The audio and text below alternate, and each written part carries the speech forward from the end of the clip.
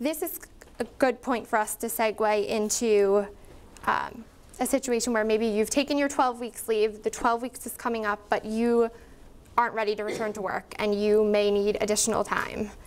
And what happens at that point? Um, there are other statutes called the Americans with Disabilities Act, which is a federal statute that protects people with disabilities uh, from discrimination. And then there's also a New Jersey statute, uh, the New Jersey Law Against Discrimination, which is the New Jersey state law that protects people with dis disabilities from discrimination. These statutes are different for, from the FMLA because they don't mandate a period of, of leave um, or job protection.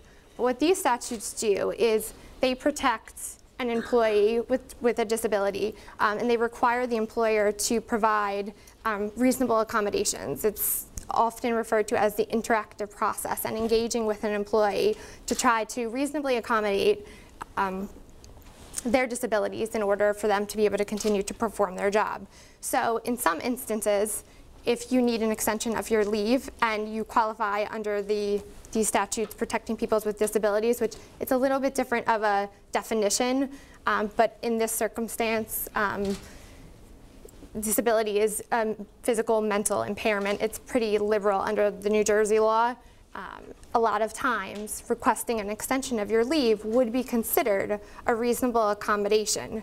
And it would be, and your employer would, would be able to grant you that um, and to be able to extend your leave. So you, there may be instances where you can get in excess of the 12, of the 12 week period. So there's a couple differences between the, um, the federal statute and the New Jersey statute protecting against disability discrimination. The New Jersey statute's a little bit more liberal. Um, it doesn't have an, an employee requirement, whereas the ADA requires you to have 15 or more employees to be protected. The New Jersey statute is any employer that employs one person, you're going to avail yourselves of the protections of that law. So everyone's going to be able to request a reasonable accommodation under the New Jersey law. And it's important to point out that an accommodation under these disability statutes, um, that can be one, one thing an employee is entitled to. Um, and it could be a, a, leave is one form of, a, of accommodation. However, it could be other things too. It could be completely separately aside from needing a leave. Um, it may be that you require to go into work an hour earlier instead of later for whatever reason, if it's your treatment, um, if it's just you know, because somehow related to your condition. So there's instances where you may not need the leave, but you may need an accommodation with respect to your disability aside from that, and you can request that under these disability statutes. Sure. Um, I have, like, do you have to request it under the, the, this law for it to be, like, to be accommodated, or? You.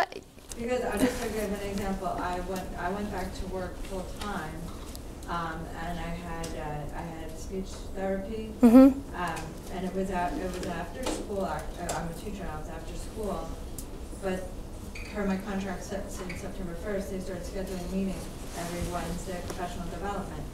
And I, I asked my supervisor, my principal, he said, you can go. But the, the my superintendent said, no, I mm -hmm. cannot. Um, and so I, I, that's my question, like, do, would you have then said, well, they just had rescheduled with a different therapist, uh, uh, you know, how therapists have certain schedules, reschedule the time. I mean, you, there was just not, it was not a possibility. Right. And didn't go into the same therapist for six months. It just didn't make, um, it was, it, it was like an undue burden mm -hmm. for me to have to start with somebody, somebody new. So that's what I'm saying, how would you have approached that? Yes, that it's definitely a, a, sounds like a situation where um, you could have followed up with them and explained to them um, that you, are requesting that um, accommodation to be able to see your physical therapist at the time you needed to uh, under the um, New Jersey Law Against Discrimination and the Americans with Disabilities Act.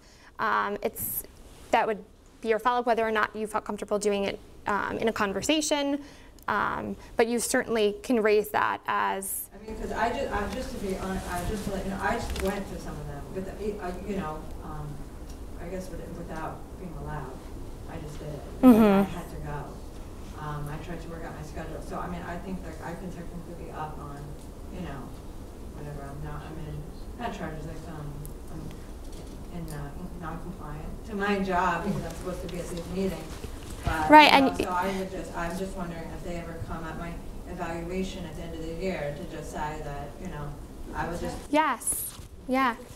that's what I mean, I wanna say, like, I can say, like, this, You- this statute can say that I, I'm a Yes, you can use the, that language, um, and it's okay to, you know, do things like that in, in writing to say that you are requesting, if, if a situation like that arose again, you could specifically say if you didn't, weren't able to get it on the first attempt, um, you could follow up with them and just cite to um, these statutes and just to let them know that I'm requesting this um, under, you know, under these acts, and I'm requesting it as a reasonable accommodation for my disability, and you would just give a little bit of an explanation.